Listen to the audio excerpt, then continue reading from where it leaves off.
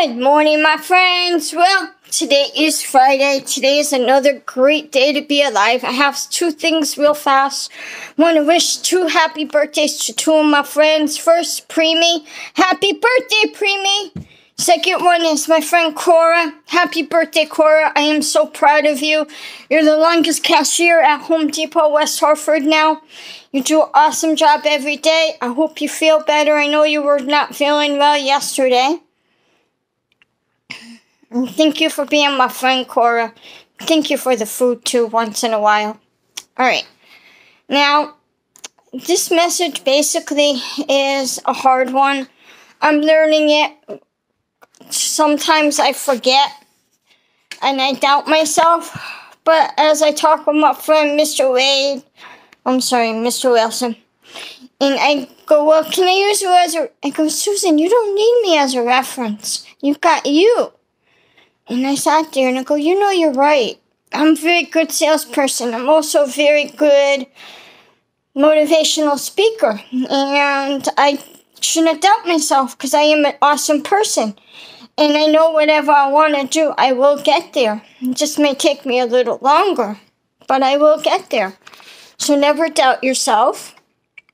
The second thing is if you have a job and you're not sure you want to go higher and you have a disability, first get together with your counselor. And, but before you do that, sit down, make a blueprint out of what you want to do or plans. And then if you have to. And like, I remember I read in an article, it was in the 80s, before all this technology came out. There was a police officer in New York. He had written dyslexia like me. He couldn't write. His writing was worse. So the police department had a machine that you talked into. Like now we talk into the phones, but this was before that.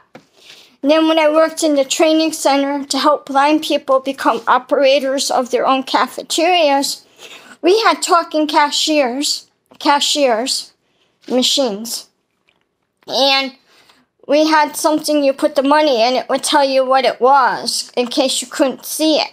So there are tools and things out there if you have disabilities and want to go farther. But you have to sit down with a counselor or somebody and talk what you want to do in the future. You have to have your goals and things set before you go into that meeting to be more productive. But there's nothing you can't do as long as you have the guts to do it. And if you fall, that's okay because you, you get caught, you catch yourself. And there's a lot of support groups. There's a lot more stuff out there than when I was a kid. So you can do it if you want. That's the good thing about America. We give people chances. Alright, I love you, my friends. I will talk to you later. Auntie Sue.